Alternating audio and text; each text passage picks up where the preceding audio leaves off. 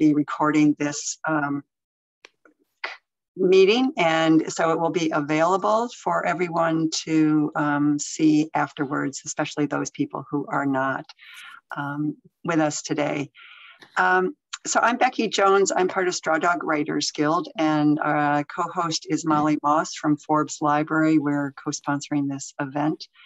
Um, when we're in person, we get to be at the beautiful um, conference room, but this allows a far more um, many people to come. So um, tonight there are 12 readers. Giovanna Von Pelt is our um, MC for the evening. She will be introducing speakers. I will be posting in the chat their bios and where you can buy their books. I'm encouraging them to hold up their books before they read so that we can see what, what it is they're reading from. And um, the other um, things that I want to say are, is that after we're done, um, if you're still with us, we welcome you to join in on a conversation with our um, readers. We will stop spotlighting at that point and we will stop recording at that point. Um, we can't spotlight more than a six at a time. So it just didn't seem like it made sense to try to keep that up. And um, but you can you can change how you view things. So when people are spotlighted, you can change it to a gallery view up in your upper right hand corner of your computer or when it's we're all on the screen if you want to see who the speaker is you can click on speaker view up there and it will shift between those um, just maybe two other things. One, if you care to contribute to Straw Dog Writers Guild, I'm going to put a, a, link into the um, chat uh, with a, um, a, an email address, um, a link so where you could donate. And um, I want to say um, our upcoming events, I'm going to put a, a link in the chat just to our website generally. Next up, February 1st is Writers Night Out, and Aidan Thayer will be our featured reader. And then on February 9th, Nancy McCabe will be um, doing a program on creating um, creative solutions to writing essays, I think is something like that is the title.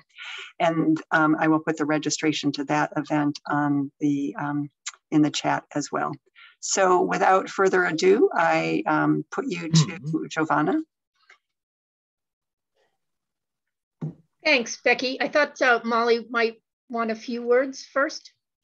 Well, she had said. Uh, um, yes, no, okay. The only thing I'm going to do is mute everybody, and then Giovanna, you're going to have to unmute yourself again. I can I can manage that. I think. I, great. Um, well, welcome everybody, and I'm glad that you could join us tonight. Uh, obviously, we are not in the beautiful Coolidge room at the Forbes Library, but I hope that this Zoom format allows you to take advantage of the fact that you can. Um, pour yourself a tasty beverage, sit back in your most comfy chair with your slippered feet up, and enjoy this great variety of writers and readings that we'll have for you tonight. Um, I will be keeping track roughly of time. All of our readers have five minutes. Um, and so we ask you to stick uh, as close to that as you can. And I will um, not be too strict about it, but keep an eye on the time for you. And as Becky said, she's going to post all these great bios and website addresses and uh, information in the chat. So I'm going to keep my introductions very short and keep the traffic flowing. So with that in mind, our first reader tonight is a frequent and favorite at the uh, open mics. His most recent published book of poetry is Abracadabritude. And I can't think of a better way to begin our evening together than by introducing Chris O'Carroll. Thank you, Giovanna.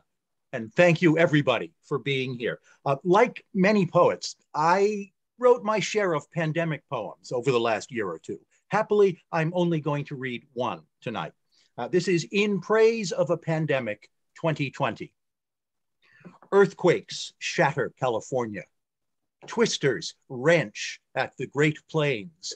Every year, the Gulf Coast suffers new assaults from hurricanes. With our far flung friends and families, we feel worries crowd our minds. Mortal dangers extra scary when we fear so many kinds. Thanks to you, COVID 19, we now have less to keep track of. Everywhere, just one convenient killer stalks the ones we love. And from a death poem, let us segue directly to a love poem because, you know, love. This is public service announcement. Ideally, this embrace would be just me for you and you for me. Even if we assumed we could, there would be no necessity to brew it, hey world, love is good.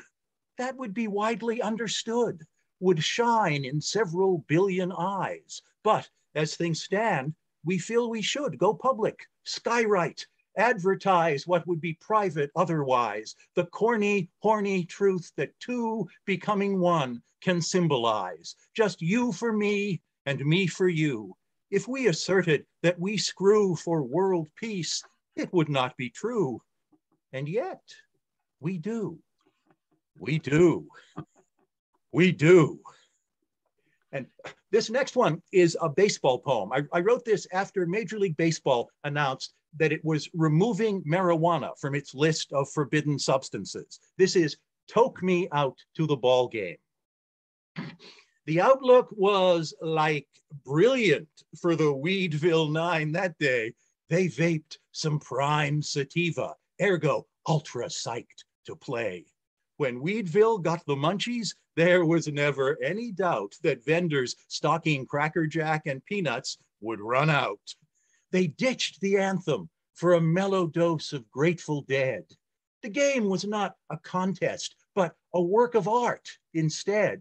The physics of the knuckleball, for once, made perfect sense, and home runs grokked the happy math of arcs above the fence. A runner with a lead off first could slide through hyperspace to wormhole past the tag and wind up safe at second base. With Bolshoi ballet grace, the infield turned its double plays, while journeyman outfielders were reborn as Willie Mays. The talent was all Golden Glove, Cy Young, and Triple Crown, so everybody got their ticket punched for Cooperstown. The mojo of the game enacted cosmic majesty as baseball truth converged and merged with baseball fantasy. The players all flew higher than a patriotic eagle in celebration of the news that cannabis was legal. And I will finish up with um, postcard from the afterlife. How cool is heaven? Where do I begin here?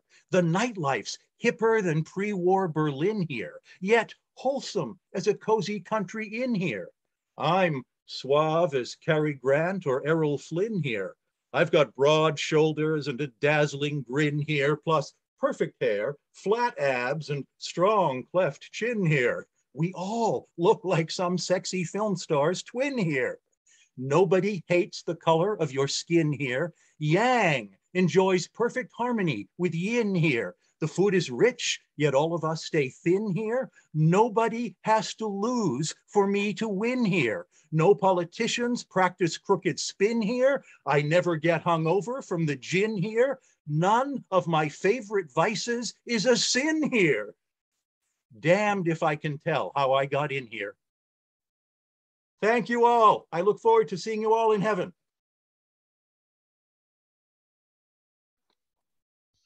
Thank you, Chris. That was wonderful.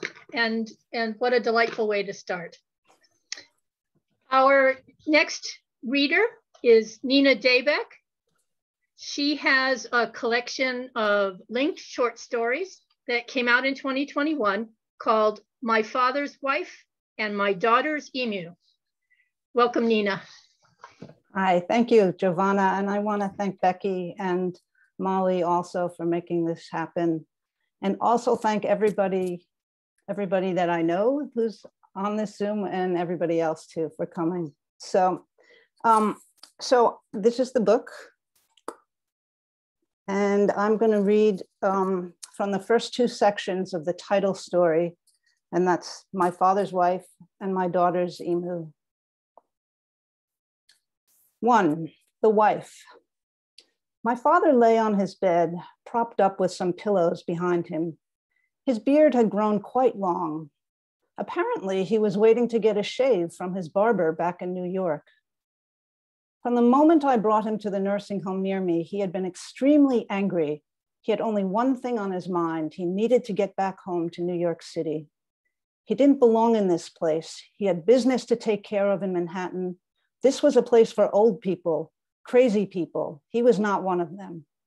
New York City. Yes, he missed New York, but what he really missed was himself. And I could not restore himself to him. Know me, how are you doing, Dad? Terrible. You must take me back to New York. I can't stay here. I have business to take care of. Dad, I know you want to go back to New York. You know? He raised his voice. Then do something. I have urgent business matters to attend to. Little drops of saliva sprayed from his mouth. Besides, my wife is in New York. She doesn't know where I am. I'm sure she's worried about me. The wife was new, I didn't know what to make of the wife. Dad, are you sure you have a wife? What are you talking about? Of course I have a wife. She's a very important person in New York. She runs a hospital and an apartment building, three apartment buildings, one of them with a pool. Talking about the importance of his wife seemed to have a slight calming effect on him. Maybe it was the swimming pool. I'm not sure I've met her. What are you talking about? Are you stupid? Of course you've met her. What could I do but enter into the delusion? Oh, yeah, maybe I have. What's her name again? We couldn't, either of us, come up with her name. Two, the emu. When I returned home, my younger daughter, nine year old Lily, was interested in hanging out with me. Great, I said. What shall we do? In her hand, she held her favorite stuffed animal, the small and very appealing baby emu that she had named Emmy. You decide, Lily said. We were sitting in the living room at either end of our sofa. She threw Emmy at me, and I threw Emmy back to her. We can do whatever you'd like, I said, but you have to decide. I don't know, I can't decide. Should we list some possibilities? You list them, she said, throwing Emmy to me once more. I held Emmy up, legs dangling, and turned her to face toward Lily. Lily, I said in a squeaky voice, this is boring. Mommy shouldn't decide. You figure out what you want to do. And that was the first time Emmy spoke, but it would not be the last. Lily brightened. Emmy, what do you want to do? Me? I answered for Emmy. How would I know what to do? I'm only an emu. You're going to have to come up with an idea on your own. You're just saying that because that's what mommy thinks. Well, obviously, said Emmy. The phone rang. It was the nursing home. Hello, I answered in a high pitched voice, realizing too late that I had just answered the phone as Emmy. It was Sue, the very kind nurse on my father's unit. My father wanted to talk to me. She put him on. Know me? Hello, Dad. What's up? I was just checking to see if you called my wife. I wasn't quite sure how to respond. I called her, but I didn't reach her. I said, Are you sure you had the right number? Yeah, I'm pretty sure. What was the number? I don't remember. I uh, would have to look it up again. 212 something. Okay, I'll wait. You look it up. Although I could have just made up some random phone number, for some reason I thought I should strive for a certain degree of verisimilitude. So I carried the phone with me to my study and fished in my filing cabinet for the number from his former residence, an SRO in New York. Okay, Dad, here it is. I read it off to him. Yes, that's right. That's the number. So, did you leave a message? He asked. There was no answering machine. What are you talking about? Of course, there's a machine. Well, it wasn't working, maybe. The phone just kept ringing. That's odd. Don't worry, I'll keep trying. I'll let you know when I reach her. You, you don't need to call me again. That was the key piece of information I wanted him to retain. Love you, Dad. Love you too. When I spun my chair around, there stood Lily holding Emmy straight out in front of her, about one foot from my face. You want Emmy to speak? I suddenly felt extremely fatigued. Lily retracted the hand that held Emmy and then pushed it forward again. Lily, just because Emmy's not saying anything, it doesn't mean you can't. Lily remained silent.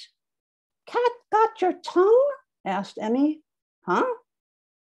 Did the cat get your tongue? repeated Emmy.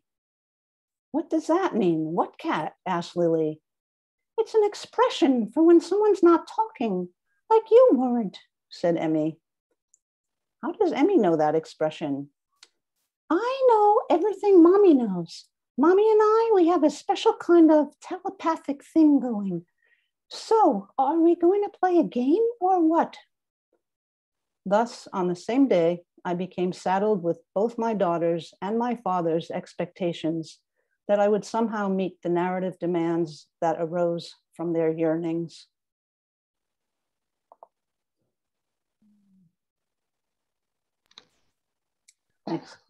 Thank you, Nina. I'll remind everyone that they can post comments and feedback for our authors in the chat, and please feel free to do so. Um, that makes me want to practice talking like an emu at some point. So lovely work. Thank you, Nina. Our next author has her deep roots here in Western Massachusetts, but uh, is now a greater Bostonian, I believe. Mm -hmm. um, she published a memoir in this past year at, entitled Grace Street, a sister's memoir of grief and gratitude. Please welcome Maureen Callahan Smith. Thank you. It's um, so special to be with all these Western Mass writers. um, I am reading from Grace Street, a sister's memoir of grief and gratitude. Uh, it's a memoir of walking next to my sister, my younger sister, as she was diagnosed with non Hodgkin's lymphoma and was treated and then had a bone marrow transplant and subsequently died about a year later. Um, it's sort of a book of, of kind of getting through the thing that you never thought you could get through. Um, sisters, family, love, two weddings, um, creativity and spirituality sort of all getting you through. Um, I'm reading from a chapter called Springtime. Kathy had spent 53 days in a noisy stainless steel and fluorescent lit cubicle, her sole window facing a cinder block wall. Driving her home from the hospital, I yielded to an instinct to divert our route to stop by the pond near our house. I pulled up close to the water, sparkling on the soft April morning, the air chill but blazingly sunny. I switched off the motor and opened the windows, and we sat in silence. Bundled up in a winter parka and fleece cap with a blanket across her lap, Kathy's face behind the surgical mask was paler than the clouds overhead. We were still for a long moment, and I could feel her drinking in the scene before her, as if pulling in sweet, cool water after a long drought. She sat without moving or speaking, taking in the sustenance so long denied, which the natural world offers us in every single moment. Today's offerings made in its sublimely beautiful April close. Early spring was just breaking out. The pond, newly thawed, reflected the optimistic blue sky. The trees in various stages of bud the very air moist and bright after the filtered air of the hospital room. I sat beside her and felt her encounter with this fairly typical spring moment unfold as if for the first time. Felt her stunned to silence, like one who'd been dwelling in a cave or inside a blindfold all these weeks, and therefore receiving the world, feeling it, being acted upon by it as if receiving a sacrament. Ducklings glided past us. Young moms rearranged squirming toddlers in their strollers. The sky beat down on us, its steady, sunny blue. We sat and sat.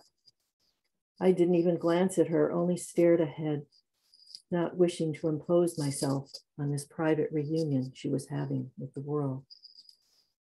Moments passed that felt eternal. Was it 10 minutes or 60? Neither of us broke the silence. We only sat and stared, the awe in her stillness so palpable that I too was enveloped in it. As battered as she was by what she had just been through, getting the chance to visit with the ducklings, the shoots, the pale beauty of early spring, made me hope that just like the new growth exploding all around us, she would only gain from here, growing stronger from this morning on, and go on for years, hopefully to experience enough onsets of spring to perhaps even fall back into taking them for granted once again. As it turned out, that isn't what happened. And because of that, I find myself visited now and again by moments that feel of a piece with that one by the pond. On a fine spring morning, a question will suddenly cross my mind. I wonder how many more Aprils I have. A question that surely could seem morbid if dwelt on for too long. Is not so scary when administered in gentle, even homeopathic doses. A question that can bring forth a different me, a less distracted, more present me. And suddenly I am back there at Kathy's pondside reunion with the sky and the plants and the birds and the babies, thanking the evergreens, blessing the sky, breathing in the budding leaves. I'm sure there is a Rumi poem about this very thing, or maybe 40 of them. Our time here is short. Wake up, wake up. But those poems, they're about Rumi's moments. And Rumi wasn't there that morning with Kathy by Spy Pond. This was Kathy's moment, and through her wordless response, became mine too.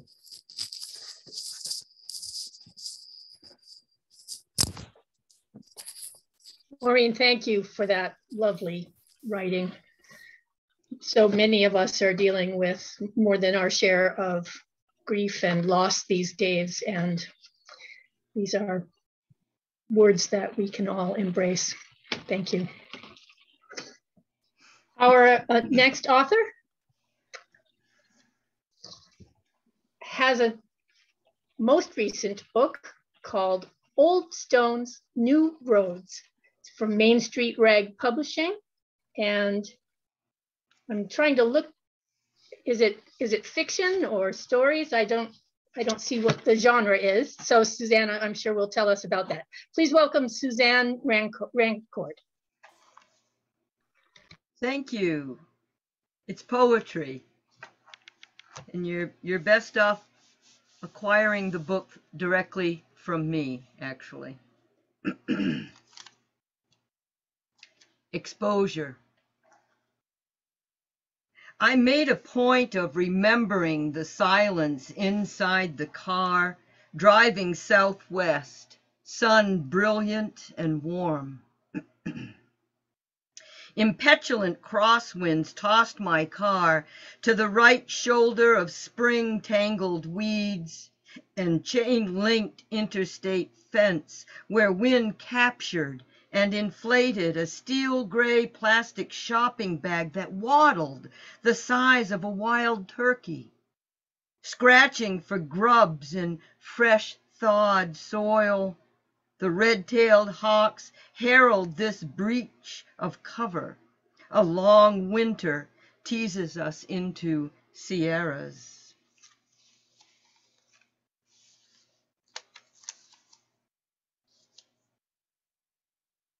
Letter to Self. a brine blowing up from Methana, arched whitecaps leap dolphin-like toward crows that dare to fly across them. Seagulls evacuated, pregnant cat vanished. A storm heavy with viscous clouds. The sh- sharp salt abrades the wallows of my face, stiffens my white hair. The strands marble their way to below my backside. A timeline the wide toothed comb lineates, shakes salt grains loose, sprinkles crystal rain, this ocean absent at my birth. A fish out of water, I'm told as a Pisces and a dry birth. The irony was not lost. The cord around my neck, the shroud of caul sealed my alto relievo face. I have to be more like the ants, perhaps, that continue regardless of obstacles. I remember being drowned repeatedly by older siblings swimming under water, eyes wide, knowing I could breathe. A miracle I survived, I'm told.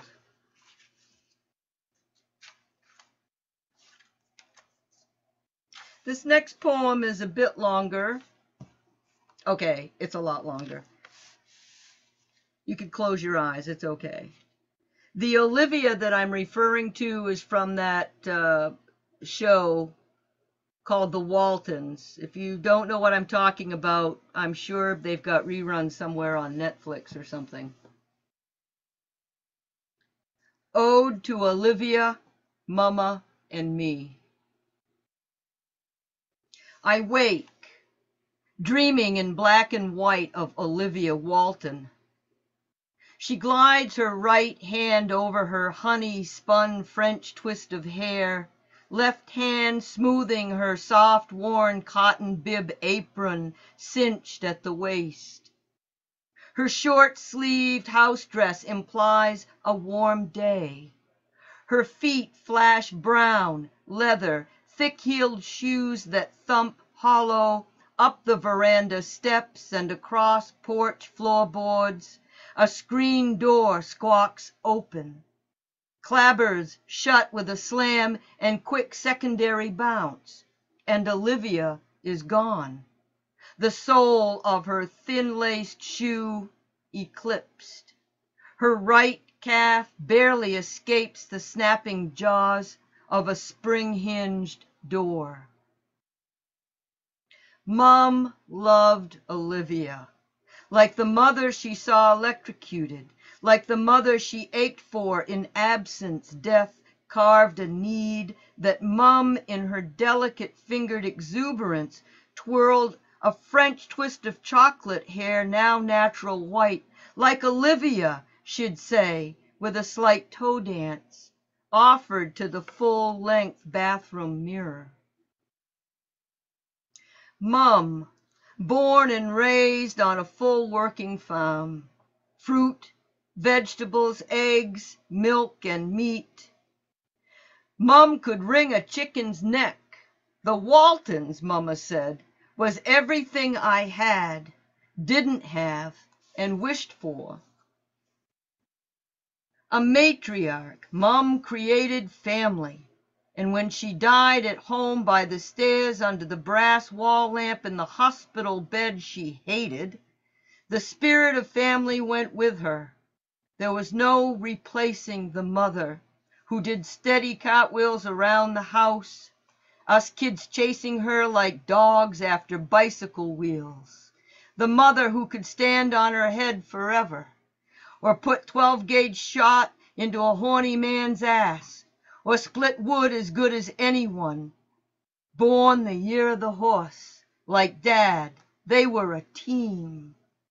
An empty harness is an uneven load, is a burden of absence we all carried in silent mementos and dreams. Mama was a seer, a dreamer, and the closer to death she got, the more she saw. Until one day she said, Susie, I'm seeing too much. I can't rest. Dad helped me make a dream catcher. It hung on that brass lamp with the braid of sweetgrass. Mum slept easy after that. This morning, before my eyes opened, I saw Olivia and Mum being Olivia. I acknowledged death, its jolting screech, like seized engines from pistons thrown, or the menacing zing of circular saws at Grandpa's lumber mill stopped solid by hardwood knots, or girls on bikes struck dead by chrome bumpers, or first loves with broken necks thrown as a wild curve ball, or dreams scraped like decals of hope from a windshield, spider cracked by a quarry truck hauling progress one pebble at a time. Suzanne, we're at seven minutes and Oh. change. I'm almost done. All right. Nostalgia is not grief transferred from mother to child, or a synesthetic epiphany, or a juncture of enlightenment, or the resonance of a aligned time. Simply, I'm in my mother's dreams 20 years after her death, and I've been here before. I miss the old fireplace on the middle lawn by the merry-go-round. Mum reclined on her side, me sitting cross-legged, waiting for the snakes to approach us. My dreams, Mum's dreams, are a place where this one moment is all moments. An electric arc of connections that snap a crackle, like drops of water and hot bacon grease in the Griswold fry pan. In this space of parallelism exists the interlocking of lives, thoughts, words, actions. Can we change what we give our children? Before my first coffee of the day, I'm thinking about Olivia and Mama. My wind hands breeze up through a caramel tornado of hair. I step into the kitchen, rattle the kettle, cast iron spider atop the gas stove.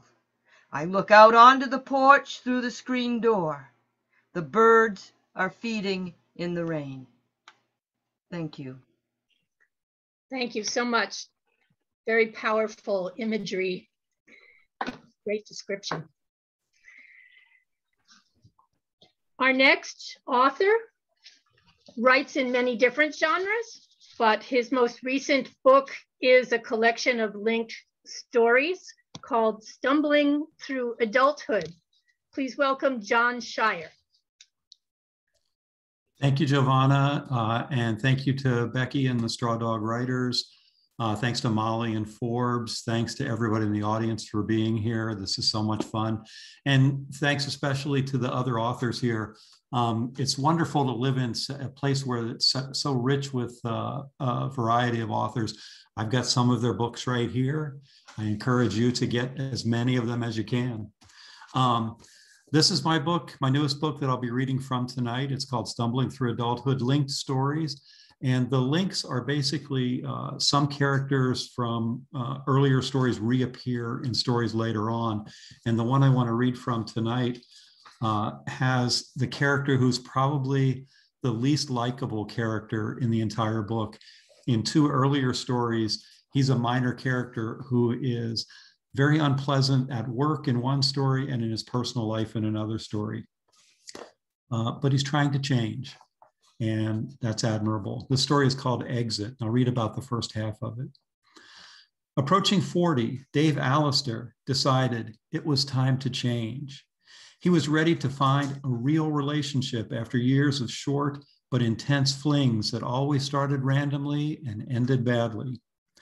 He was ready to start taking care of his body instead of drinking away his evenings and limiting his exercise to weekend softball games. He was ready to try to understand the world around him after following whatever politician wielded the best insults. He was ready to stop blaming his own lack of advancement at work on the people who earned the promotions he thought he deserved. The night before, Dave decided he was ready to make an, the effort that he had assumed other people were making. He just hadn't been able to commit himself until now. Unfortunately, Dave found himself running late for this morning's project management training session that he decided was the first step toward those life changes he was certain he was ready to make. That's why he took the curving exit ramp leaving Interstate 40 close to twice the posted speed limit. He was annoyed with himself for slightly oversleeping and developing his new and delaying his new program of self-improvement, and his irritation weighted heavy his foot on the gas pedal. So it was almost a miracle that he was able to stomp on the brake and stop just a dozen yards short of the minivan lying upside down halfway along the ramp, its front wheel still spinning. His seatbelt dug into his chest through his suit jacket, shirt, and tie as the car skidded sideways, tires screaming on the pavement. Random papers, fast food breakfast wrappers, coins, and other meaningless objects flew forward from all parts of the car, including something heavy and hard that he couldn't identify as it struck right behind, or excuse me, as it struck behind his right ear, pinging his brain like a random text message. His cell phone impacted the windshield and landed face down on the passenger side floor. Dave could tell without looking that the phone's face had shattered. Singed rubber burned his nostrils. Then he saw her, the woman crawled out from the overturned driver's side of the, of the van, her dark hair in disarray, half her shirt tail pulled from her jeans. She stood on wobbly legs, staggered forward for 30 feet, and knelt on the pavement. A solid six, Dave thought, and then he mentally slapped himself. Rating women by their appearance was another character trait he knew he should change. Dave removed his seatbelt and opened his door almost before he realized he was moving. He ran toward the woman and skidded on his smooth dress shoes uh, like he was, uh, excuse me, he ran toward the woman and skidded on his smooth dress shoes like she was home plate and he was trying to beat a strong throw from the outfield. Are you okay? He shouted as he slid beside her, nearly horizontal. Jesus, the woman shouted back, startled by Dave's sudden appearance. Dave saw fear in her dark eyes.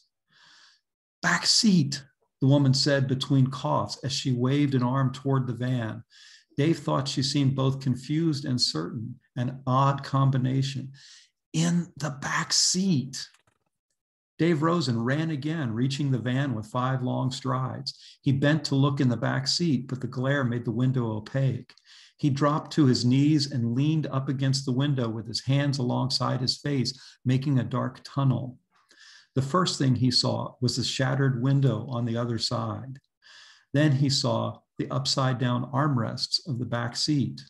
Then he saw a neatly closed umbrella lying on the inverted roof. And then he saw a child's booster seat, empty and unmoored, overturned near the broken window the straps dangling free. He swiveled toward the woman and shouted, Where's your baby? What? She called back as she tried to stand. Dave rose and sprinted toward her. Your baby, he screamed. Where's your baby? Before he could finish the word, the toe of his dress shoe caught on a deep crack in the pavement. He found himself suddenly airborne, lurching forward, arms outstretched like wings, feeling an instant sense of weightlessness, as if he could glide like that forever. That illusion slipped away, slipped away as time kept its inevitable pace and gravity tightened its unbreakable grip. His right knee landed first, and he could feel his fancy slacks ripping, hundreds of dollars worth of cloth disintegrating as the jagged pavement clawed at the fabric. And I'll stop there and sort of leave you hanging. Um, a couple of, uh, one quick spoiler, there was no baby. There's no baby in danger. Um, uh, I hope you weren't worried about that. Uh, Dave's the only character in Stumbling Through Adulthood who literally stumbles, um, and his stumble kind of interferes with his plans. And I hope you would like to hear what happens next to Dave and what happens to all the other characters in the book. Thanks, everyone. Great. Thank you so much, John. That's very evocative prose. Our next author is a retired teacher with a forte in nonfiction. His recent book is called Chosen Family Men's and Women's Support Groups An Inside Look. And we're pleased to welcome Tom Weiner. This is the cover. And a shout out to Patricia Lee Lewis, who wrote a fabulous blurb on the back of the book. Uh, I'm really grateful for this opportunity to be with my fellow authors, to the organizers, and to this audience uh, to share about Chosen Family, whose arrival was impacted by the pandemic. I shall begin by telling you why I wrote the book. First and foremost, to pay homage to my men's group that has been going since 1978, 44 years and counting. Our history, our commitment, our love for one another that includes both endless empathy, compassion, and support, as well as challenging one another. Then there's the laughter, the silliness, the celebration, the outstanding meals we've offered one another, the retreats, and much, much more. Another reason was to acknowledge and affirm three other support groups an older and a younger women's group and a younger men's group that are all in the book. Another reason to show through the words of the 28 people interviewed from the four groups how impactful such groups can be, how much life changing affirmations, connections, support, challenge, and love these mini communities provide in a world increasingly isolating, often alienating, and certainly where ne there's never too much, let alone enough mutual caregiving and taking. And the final reason I'll give tonight, although the uh, introduction gives many more, to provide a history of women inspired support groups, starting with consciousness raising groups in the 1960s, and then to offer personal experiences by my interview subjects about the origin, formation, group norms, contributions of members, what members receive, the impact of the group on the individual and their relationships with partners, children, and parents, changes over time, and eventually dealing with conflicts that arise within the group. What makes the book most meaningful are the words of the group members. So I will now treat you to the few of the many moving testimonials. Given the time limitations, I'll share one response from each of the four groups. Choosing is incredibly difficult, but here goes. The question that I asked this young man, Ben, was why did you join your group? The practice of sharing has been critical, he said. One of the features of patriarchy and toxic masculinity is the feeling that a lot of the traits and habits are my own. Thoughts about sex or about women or the inability to be in relationship. Then I pathologize my own issues. So coming together and sharing in a group lets me know there are others who have similar feelings and tensions Healing must be done as a system, collectively. So I joined a men's group, recognizing that transformation is not a solo endeavor. It requires being in communion with others. This group has been a collective body to struggle, share, and practice together. Being with other men promotes the understanding that transformation and healing cannot be done solely on my own. I feel a heightened urgency and desire to connect with other men about how patriarchy shapes our relationships to ourselves, others, and the world. Next question I asked in this brief sharing is What is your contribution to your group? And Sarah of the Older Women's Group said, First and foremost, I show up. I prioritize the group in my calendar and work hard to fend off other commitments so I can be there for my women. I also bring my organizing and planning energy for outings to beautiful places and creative projects. But really, it's about what we all bring collectively leadership, love, listening, wisdom, humor, presence. I think what I contribute, which we all contribute, is that we listen really deeply. And we share a commitment to help each other grow into the best people we can possibly be. We have so much intimacy, which includes being aware of each other's flaws and of our own. We can be fully human with each other and still feel loved and accepted. And the next question How does being in your group affect who you are and how you act in the world? And this is from the older men's group, Robbie. Being in our group affects me tremendously. I feel that I have total validation for being the man that I am, which is a non macho man, a non violent man, a feminist man by being in this group. We get constant support from each other. I have a place in my, my life where I can share things with other men I think that's really healthy because so many men hold things in, and don't share intimate emotions with other men. If they're in a heterosexual relationship with a woman, that might be their only place to share that. But I feel like a healthy relationship is to be able to share your deep emotions with a member of different friends and men and women in your life, rather than have it just be for one person, your most intimate partner. I feel the group has given me a healthier perspective on myself. And finally, a young woman answering the question, how do you see the role of support groups in society? Liz said, it is more important than ever because in this country and a lot of countries, we're becoming so fractured and unable to talk to each other. We're standing in our idea boxes. Even if you're doing it in concert with a group of people that is more likely to share your values and ideals than others and feel like family in many ways, if you're able to talk to other people, it's going to make you more empathetic, a kinder person in the world at large, and that energy is going to spread. If you don't have a sense of safety talking to other people, it creates more anger and lashing out and breakdowns than understanding. It leads to destructive and sad behavior. Excuse me. The more people come together and participate in conversations, the more healing can happen. That's where I'll end because that's what the groups all say their group provides for them, even more so in a pandemic. Thanks for listening. Thank you, Tom. Very, very important work for all of us to take note of. Appreciate your sharing it. Our next author has created a work that deals with an unimaginable event. This debut collection is called What I Should Have Said, a poetry memoir about losing a child to addiction. Please welcome Lynette Sweeney. Thank you, Giovanna.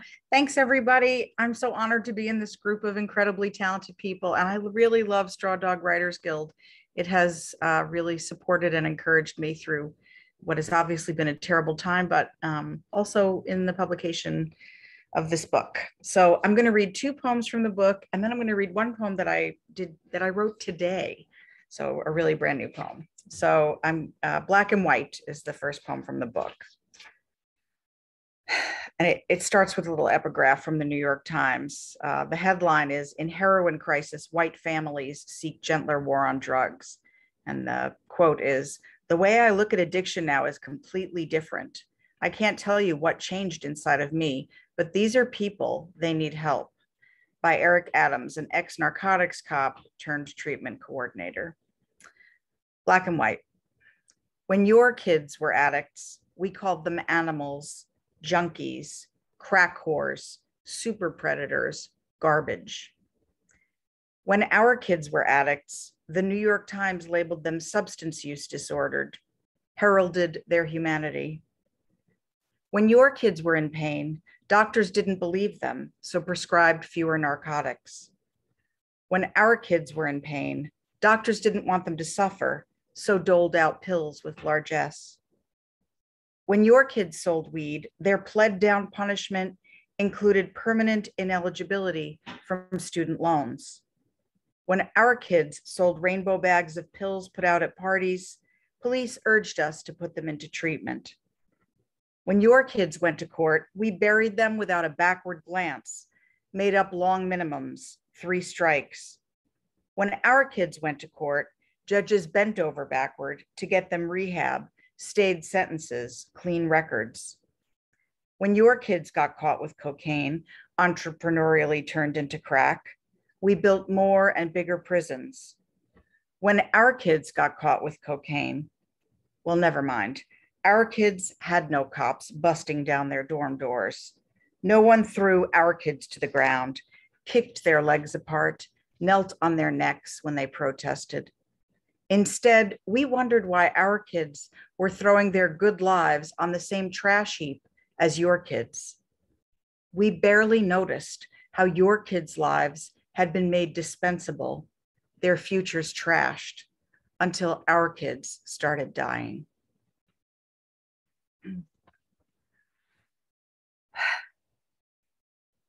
And the next poem I'm going to read I'm very excited to say has been nominated for a Pushcart Prize by Finishing Line Press, which published the book, uh, Breaking Down at Cape Neddick.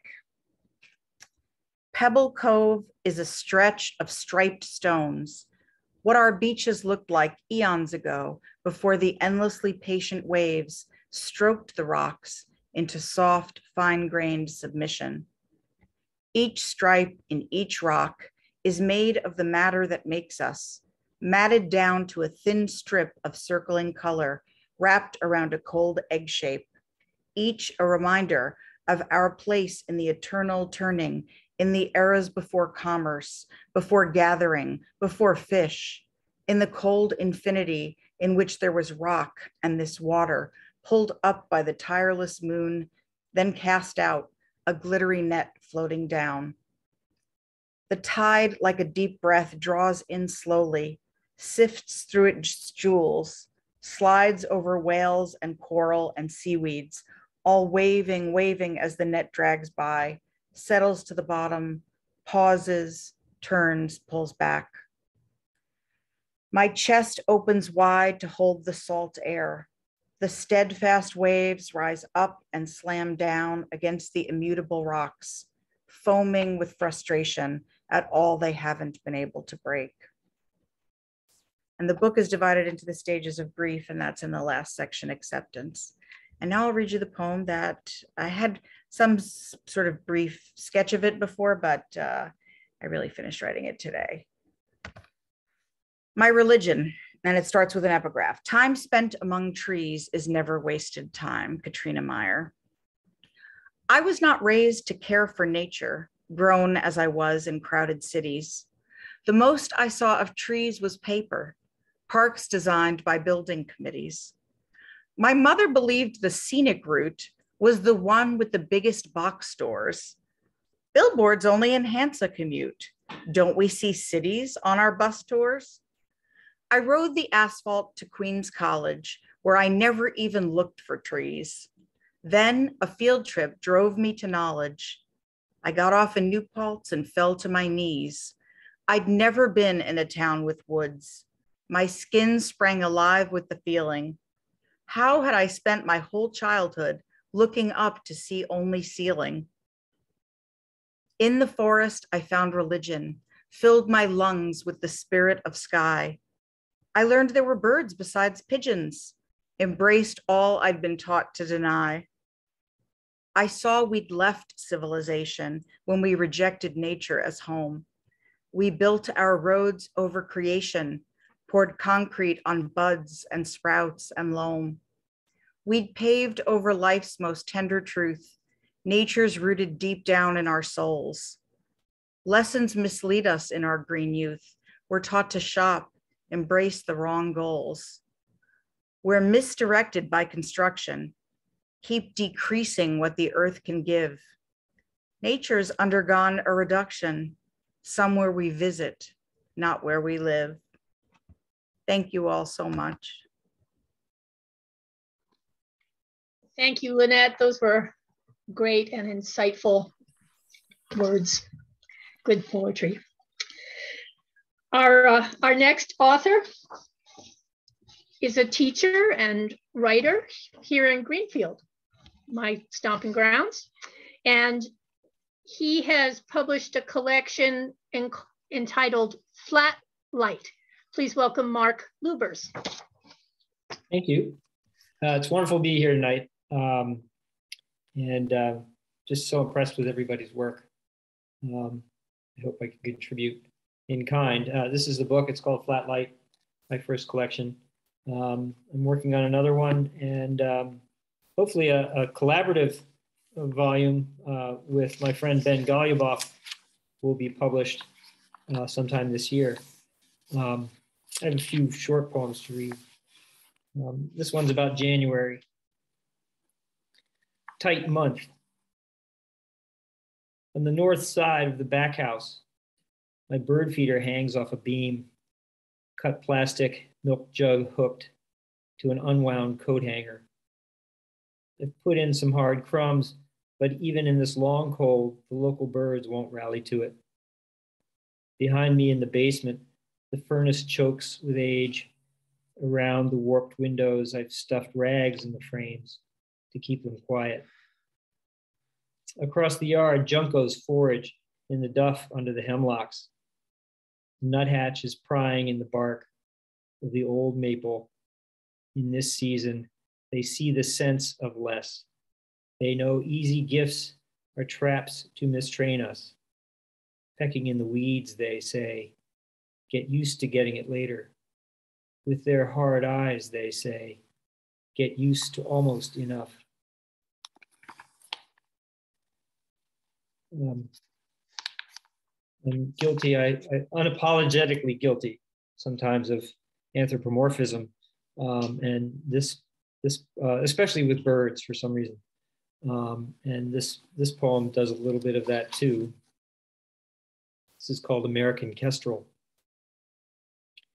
She is appointed Artemis, surveying and holding over the dusk median of I-70 in suspension and patience.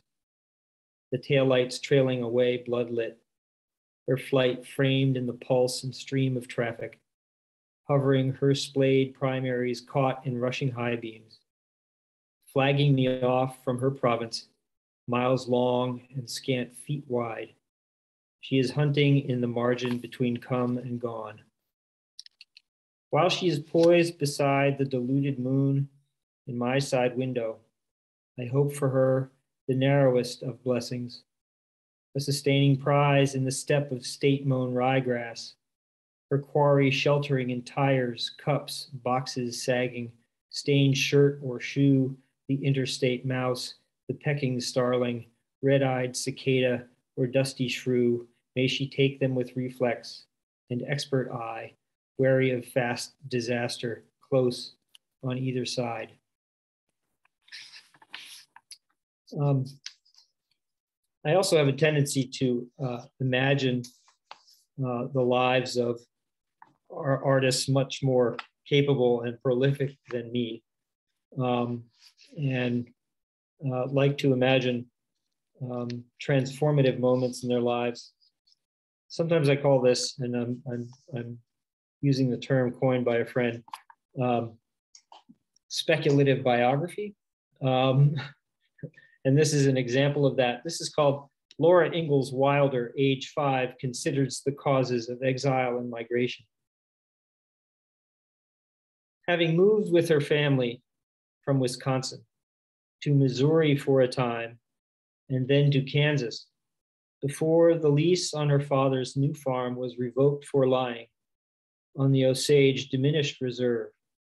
She waded in her early girlhood through the blue stem grass, trying both to sway and to stay upright.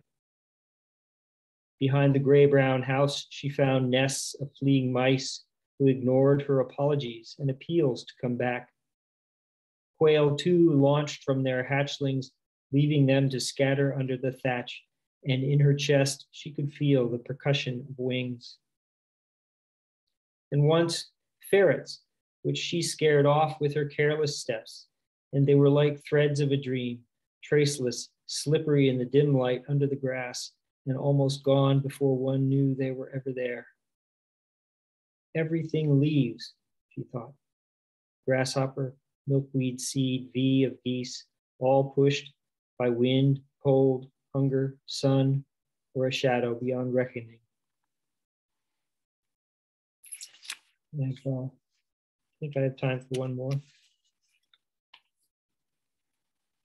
This one is called Piano Fire, about a local.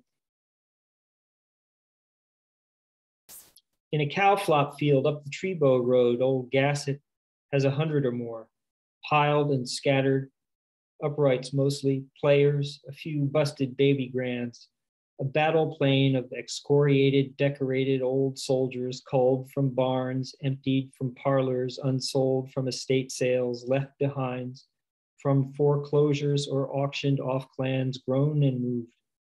The long toothed, exhausted veterans of kids' scales, whose breath sing-alongs, carols for the deaf, deaf grandmother, and the waltz, the rag, the boogie woogie, far away Broadway, and the tuneless meanders of fingers sleepless in the dark. It is senseless work making this collection. Gassett yanks and swears, levering them onto the trailer up the ramp to the, uh, for the ride up behind the pickup up the hill. Camp now to mice and wrens, once prized ebony lacquers now modeled, standing with splintered warp tops like wrecked tuxedo soiree socialites, tilted and reeling, wearing sprung collars and spattered insults from pigeons and bats. Gapped smiles leer from the curved keyboards held in skeletal frames. Gassett says he'll invite everyone he knows up to see when he decides it's time. Grill and swill, haul them all to the middle, huck in a gallon of kerosene and chuck on the smoking end of a Swisher Sweet. We'll all stand clear of the crash chords, singing strings, moans of failing joinery, skyward flailing sparks, and the chorus of perfect ash, and how with joy at all noise, light, and upward endings. Thanks. Thank you, Mark. Those were great. My piano behind me is shuddering. Someday, maybe. our uh, our next author has had six, great success with her nonfiction, but her most recent book is a novel called Burning and Dodging. Please welcome Julie Wittes Schlack. Hi, everyone, and uh, thank you so much. It's a real honor to be here. Thank you particularly to Becky for pulling this together. Uh, oh, here's the cover. Actually, uh, the print is by a local artist, Liz Chalfin from the Zea Mays gallery, uh, which I encourage you to check out. Feels a bit like home shopping network. Slicers, slicers. Okay. Um, so I am going to read uh, an early, a section from an early chapter, Burning and Dodging. Um, the book opens in 2011 when Tina Gabler, who is about 59, has gone to work for um, a, an aging um, TV anchor, a journalist who's writing a book about iconic photographs that had been staged and sees himself very much as the last defender of objectivity in journalism. And yes, I did write this during the Trump administration. Um, but the book um, has lots of flashbacks uh, to various moments in Tina's life. So in this flashback, we are going back to June 1970 when she is out to dinner with her parents, uh, Bob and Joan. And her father, Bob, is um, an engineer for, uh, for television. Two hours ago, you're handed your diploma, your high school diploma, and now you just announce you're moving to San Francisco? Her father had said with no preamble, after ordering a beer for himself, a gin and tonic for Joan, and nothing for Tina. She and her parents were sitting tensely around a linen covered table at Mama Maria's for her high school graduation dinner. The argument had started the prior night. Tina studied the menu with close attention, grateful for any reason not to have to look at her father's furious face. Dad, it's just for three months. You say that now, but once you're there, you're not going to want to turn around and come back so soon. NYU will still be here whenever I come back. So you're not planning to start college in the fall. I knew it. I didn't say that. Tina avoided his eyes. But that's what you're thinking. Tina looked past him at the waiters bustling in and out of the kitchen behind him. But she startled when Bob grabbed her forearm. It hurt, and she was shocked. Look at me when I'm talking to you, her father barked. Seeing his hand like a clamp, hearing his own hectoring voice, her father released her and took a deep breath. You're a smart girl. You're brimming over with talent. Why do you want to throw it all away? I don't. I'm not. It was oppressive, this love he had for her. She wasn't some kind of prodigy. Could he even see the real her or just his idealized image? You weren't much older than me when you went off to the Air Force, Dad. Nobody said you were too young, she said instead. Well, just like you, the people are going to make history, and I just want to be a part of it. He rolled his eyes. History happens every day, everywhere. All you got to do is be alive, Punim, and you're part of history. Oh, come on, Dad. You know what I mean. You had your war. Well, my generation, we have our anti war. Bob took a deep breath. I understand. Hell, I sympathize. I'm on your side. I just don't understand why you have to uproot everything when we got plenty of peace marches right here in the city. You could go to school, pop out between classes to chant some slogans, then go back to what you're supposed to be doing. But this is what I'm supposed to be doing. Learning doesn't just happen in a classroom. This isn't some extracurricular activity, Dad. I mean, like debate club. It's not a hobby. Oh, but it is, sweetheart, Bob answered fiercely. Being contrary is a hobby. That's what I learned after over 20 years of listening to my parents and older brothers fight bitterly and always with shifting alliances over whether they should have gone to Palestine or the US when they left Germany in 1933, about whether there could possibly be a God who would allow such a thing as the Holocaust, about whether Dutch Leonard or Bob Feller was the best pitcher in baseball, about whether the Hitler Stalin pact was a shrewd move to buy the Soviet army time to prepare or a craven anti Semitic act of isolationism. Joan placed a placating hand on his arm, but he wasn't done. About whether the point or the flat was the better cut of beef brisket. About whether it was great Aunt Dora or great Aunt Myra who would marry the Gentile in Kiev.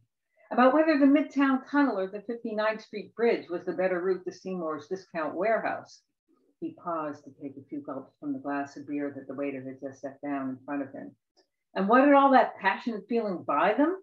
Besides the opportunity to feel wounded or superior, who needed the chaos? That speech was probably the longest, most self revealing monologue her father had ever offered. But at the time, Tina couldn't really notice that. This was probably the first time he'd ever been really angry at her. To be so insulated for so long, she now wondered, was that a gift or a handicap? Last week you came home from work talking about how television can save the world, she had retorted, feeling her own surge of sour fury.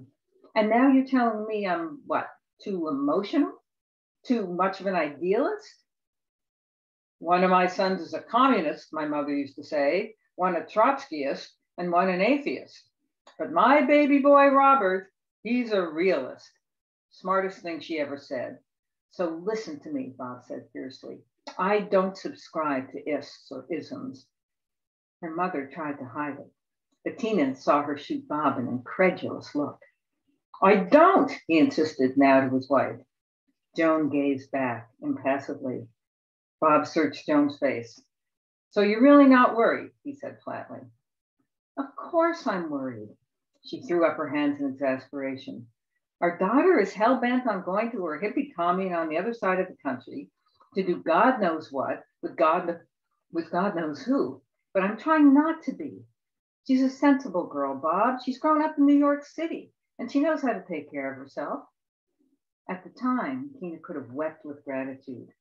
Now she was stunned at how sanguine her mother had been or how unjustifiably trusting. And I'll stop there. Thanks.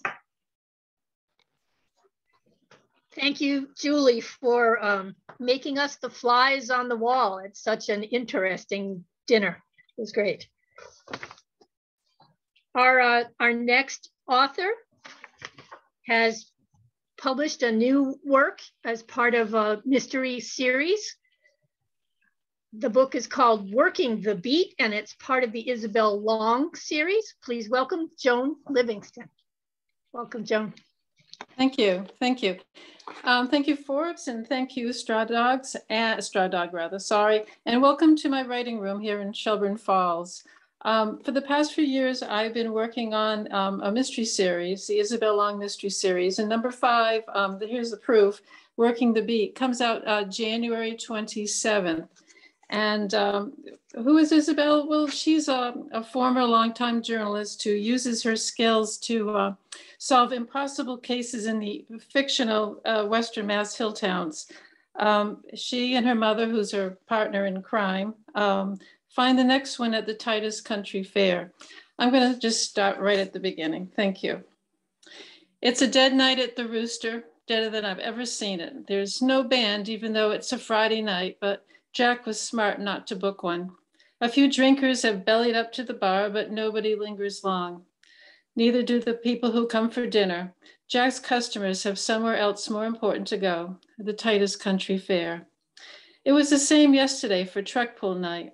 That's when drivers, mostly guys, try to get their stripped down, souped up car or pickup to pull as much weight as possible over a line. And everybody in the crowd watches to see if they make or break it. Tonight, horses are pulling, a draw for the traditionalists, and tomorrow is demolition derby night. Jack's not even going to bother opening his bar. Besides, he wants to go like his pals, and he wants me with him. That's what I get for hooking up with a local boy. Right now, Jack and I are sitting at the bar playing poker and listening to tunes on the joke box to pass the time until much later when people will likely show up after the fair shuts down. No booze is allowed at the Titus Country Fair for good reasons, so people will be mighty thirsty unless they've managed to sneak in something. Ready for our hot date tomorrow night? Isabel asks, Jack asks. Are you saying watching cars smash into each other until only one of them is left is your idea of a hot date? He grins as he throws down his cards. Crap, he's beat me again. Uh huh, what's your idea? He chuckles. By the way, you're one lousy poker player. If we was playing strip poker, you would have been naked a few hands ago. Me, naked in your bar? Jack grins. Not a bad idea. Sure, boss. And so it goes all night. Jack wins hands and we joke back and forth like the fun loving couple we are. He gives me a wink. Jack's in his late 60s, but he's aged well, likely due to good New England genes and keeping things light. He's a big hunk of a guy who doesn't mind my teasing him about it. He has a square jaw and brown eyes and mostly dark hair. He would make any woman my age, which I'm keeping to myself, turn her head to give Jack a second look. I'm one lucky woman. This November, we will have been together a year, except for a few months after my first case, which involved his late sister. Remember? Hooking up with Jack has immersed me in part of the hill towns not experienced by most newcomers, like going to a demolition derby. I would never ever go to one on my own, but I will because of Jack. Besides, it will be a great people watching place, Lots of country folks enjoying a night out while drivers destroy their vehicles in the pit below. Plus, from working at the Rooster, I've gotten to know a lot more people, even some who will be driving tomorrow night, and certainly their fans. I've been hearing about the fair and the Derby for a couple of Fridays now when I serve our customers beer or whatever drink they fancy. This will be my first demolition derby, although I've been coming to the Titus Country Fair every, every year since Sam and I deserted Boston for the sticks of Western Massachusetts. Our kids grew up at the fair, from going on the kiddie rides and eating carnival food like fried dough and french fries, to teenagers sneaking over the back fence with their friends. Now that they're adults, they still make the pil pilgrimage to the fair. Ruth and Greg will be bringing my granddaughter Sophie for her very first on Sunday. My sons Matt and Alex said they might see me on Derby night, it's the hottest thing going this weekend in the hill towns. Actually, I didn't go to the fair last year, part of my year of grieving for Sam, a good guy with a bad ticker. Neither did my mother, who moved in with me during that time. But I'm taking her tomorrow afternoon. I've talked about the fair so much, I hope she isn't disappointed to find it filled with the stuff people have grown or made, rides, and lots of farm animals. But then again, when her parents came over on the boat from Madeira, they had a large garden and kept goats for their milk and meat. They made nearly everything they needed.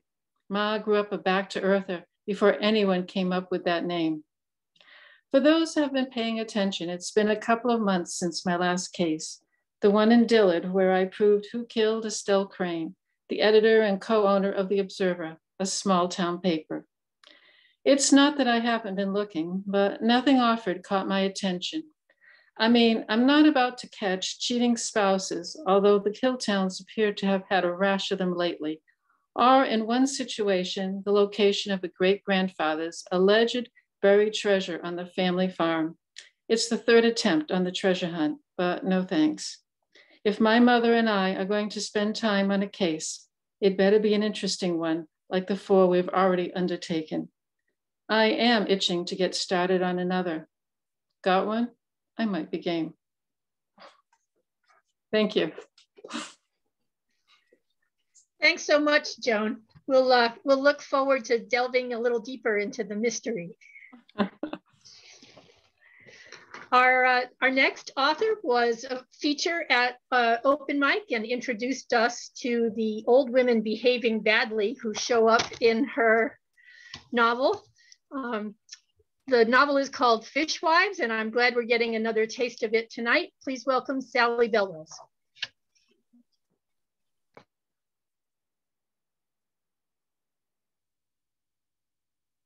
Sally, you're muted. Mute.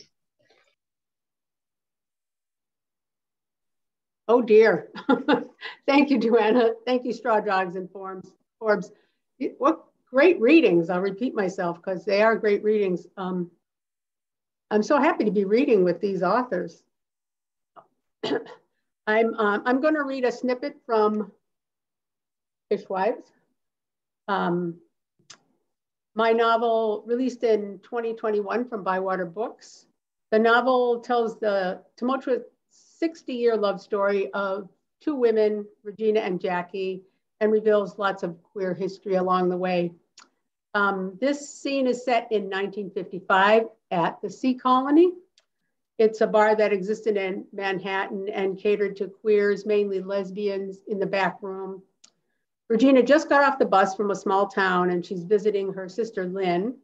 Regina has heard about the bar and decides that this is the place to tell her sister Lynn that she just can't get herself to like boys. Regina does a bad job explaining because she doesn't understand herself and because she's attracted to the attentive bartender, Jackie. Regina and her sister Lynn go through a series of misunderstandings, and Lynn gets very drunk. And they get caught in a bar raid. The police at the beginning of the scene have just raided the back room. The main character, characters, Regina, Lynn, and Jackie, are in the more respectable front room. Fishwives, Chapter 1, 1955. Lynn trips getting out of her chair and walks a straight line to the bar. Regina grabs her satchel and follows. Jackie comes right over, dragging a rag across the clean bar in front of them. Lynn wastes no time asking her, Girls dancing? Is that unlegal? Illegal. Girls together, boys together. They say it's a, a crime. Jackie skips a beat. Against nature. She stares at the back wall. Sounds like they're getting rougher than usual. Jackie bends to untie her, untie her wingtips and slips into the penny loafer she keeps under the bar. Excuse me, she says. She turns so she's not facing them and takes a comb out of her back pocket. When she faces them again, her slick back hair has been pulled forward and she has a fringe of real cream bangs. I hate to ask. She lowers her eyes scratches the back of her head, and says with a tense smile, Can I borrow your scarf, Lynn? What? Lynn teeters off the stool. Regina puts a hand on Lynn's shoulders and makes her sit back down. I need three pieces of women's clothing. Jackie's brow creases as the noise coming the, from the back room escalates. I keep a couple of scarves and bracelets here. I don't know where they went. Why? Regina unties the scarf from around her sister's neck. Why do you need three pieces of women's clothing? So they can't charge me with pretending to be a man, Jackie says. No, dumb girl. Lynn giggles, stops, abruptly serious. No dumb girl, not in America. No girl's gonna think you're a guy. She pouts. Well, I did. For a minute there, I did. Shush, Lynn. Regina takes the chiffon, uh, chiffon scarf from her purse Unbutton your top two buttons, Jackie. Let me. She kneels on a stool and unbuttons Jackie's collar. Try to sober up. Jackie looks sideways at Lynn and Regina as Regina arranges the scarves. You're going to land in jail if you don't, Lynn.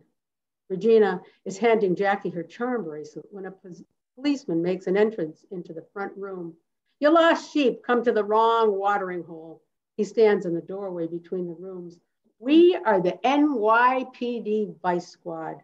Everyone on a bar, bar stool swivels to watch the cop approach the bar. He's a tall white man with a thick neck. He surveys the hushed room with his back to the long mahogany counter. My name is Smith with an E. Sergeant Smith at your service. Keep your noses clean and you might walk out of here with a good story to tell the family back home if you're lucky. There's a thud, followed by the sound of glass breaking in the back room. Two bodies struggle in the doorway, bounce against the doorframe, and stagger a few feet into the front room. One is a cop who keeps telling the person he's struggling with to calm down. Enough, Officer Smith bellows, raises his nightstick and brings it down. Shit! The person struggling with the cops falls to their knees. Officer Johnson, Smith's laugh is mean. See that thing hanging off your belt? You got bested by a short, fat girl with your nightstick just dangling there. Officer Johnson unhooks the nightstick, which slips out of his hand and skitters, stopping when it slams into Regina's suitcase. Thanks for listening.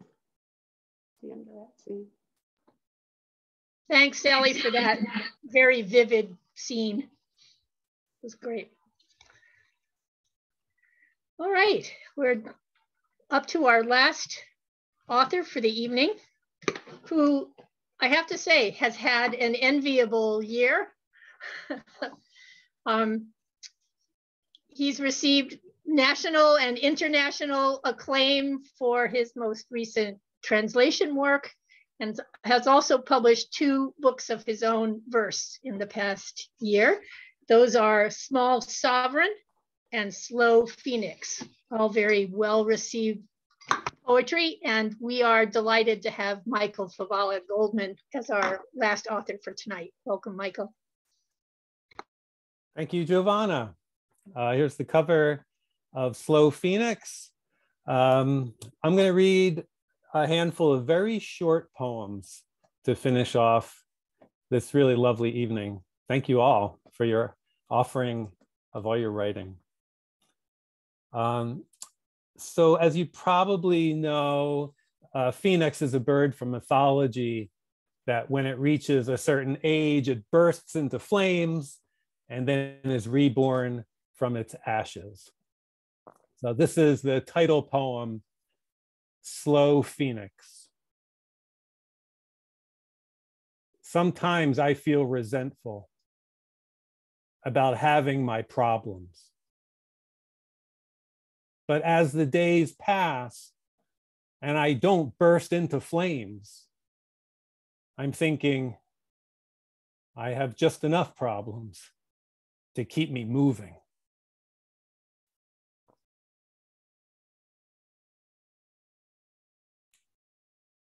Mortality. For me to be alive, a lot of things have to die. So I try and reduce my death footprint. I go vegan, go barefoot, go home. So life will have less reason for revenge.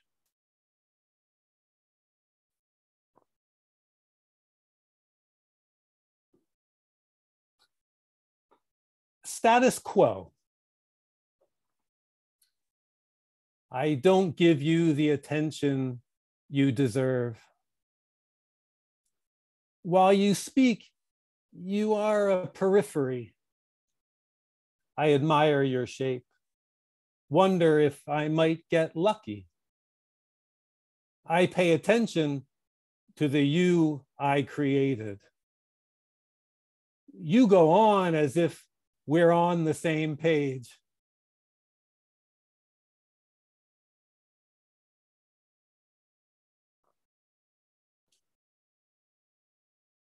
Discipline. Your mind is distraction, a baby wanting your attention. It's always crying, and you care. You're compelled. This may sound coarse, but try letting it go for a while. Eventually, it will calm down when it realizes you're not coming.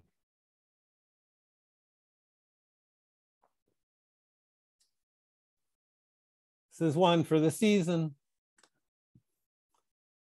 January. A deep snow fell in the night, too much to deal with. But as the hours pass, unavoidable, might as well start digging. Don't think how long or how much, better how crystalline, how phenomenal. Small movements, advancing steps, wind, gravity, shadows, and shapes come upon a path revealed.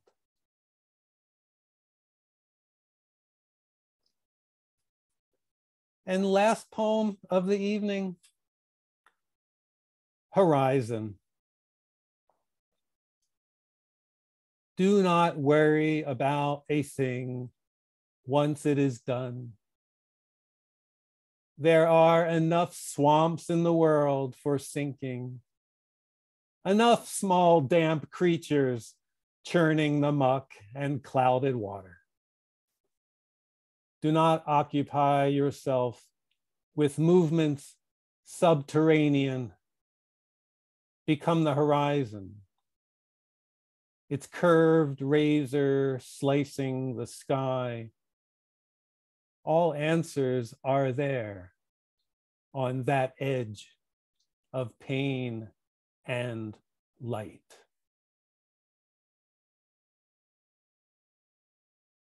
Thank you for listening and for coming tonight and staying to the end, or at least the end of the readings.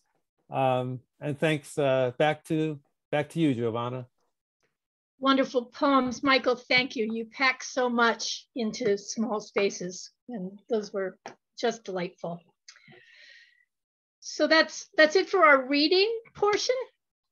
Fantastic job, everyone, and I want to extend our thanks again to everyone who, uh, all of the writers who participated tonight and everyone who was listening.